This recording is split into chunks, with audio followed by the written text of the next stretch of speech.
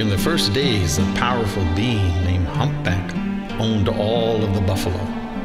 He kept them behind a stone wall in the mountains to the north, where he lived with his young son. Not one buffalo would Humpback release for the earth people, nor would he share any meat with those who lived near him. A brave warrior named Coyote decided that something should be done to release the buffalo from Humpback. He called the people to council. Humpback will not give us any buffalo, Coyote said. Let us go over to his lodge and make a plan to release them. They camped in the mountains near Humpback's place, and after dark they made a careful inspection of his buffalo enclosure. The stone walls were too high to climb, and the only entrance was through the back door of Humpback's lodge. After four days, Coyote summoned the people together in the council and asked them to offer suggestions for releasing the buffalo. There was no way to release the buffalo, one said. One warrior said, We must go into Humpback's lodge, but he is too powerful a being for us to do that. I have a plan, Coyote said. For four days, we have secretly watched Humpback and his young son go about their daily chores. Have you not observed that the boy does not own a pet of any kind? The people did not understand what this had to do with releasing the buffalo, but they knew that Coyote was a great trickster, and they waited for him to explain. I shall use my powers and change myself into a hawk, Coyote said. In the morning, when the humpback's son goes down to the spring to get water, he will find a hawk with a broken wing. He will want this bird for a pet and will take it back into his house. Once I am in his house, I can fly into the stone gate, and the cries of the hawk will frighten the buffalo into a stampede. They will come charging out of Humpback's house and be released to the earth. The people thought this was a good plan, the next morning, when Humpback's son came down to the path to the spring, he found a hawk with a crippled wing. As Coyote had foreseen, the boy picked up the bird and carried it into the house. Look here, the boy cried. This is a very good bird. It is a good for nothing bird, Humpback shouted. All the birds and animals, and especially people, are tricksters.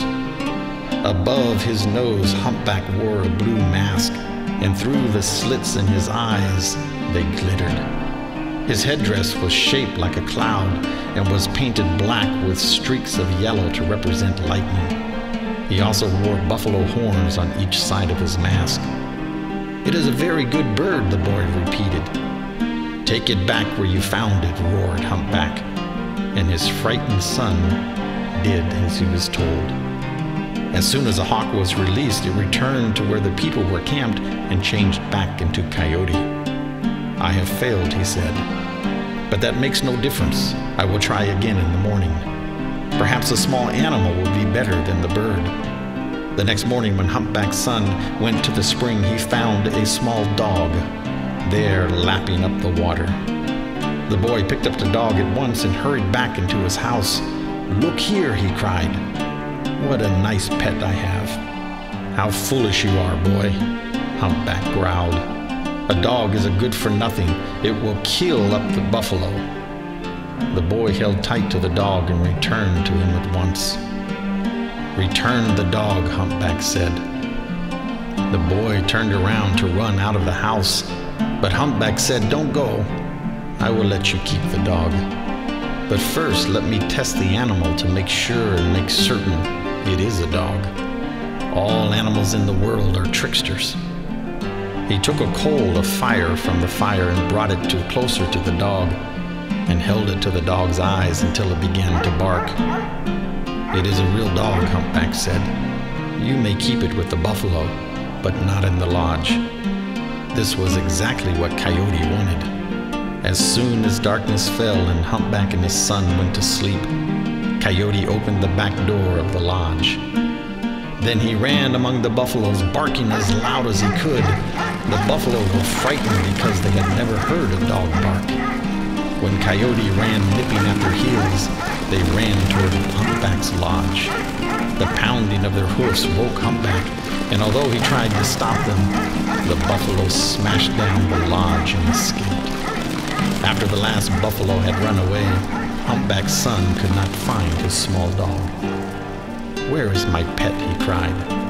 Where is my little dog? That was no dog, Humpback said sadly. That was Coyote the trickster. He has returned all the buffalo to the people.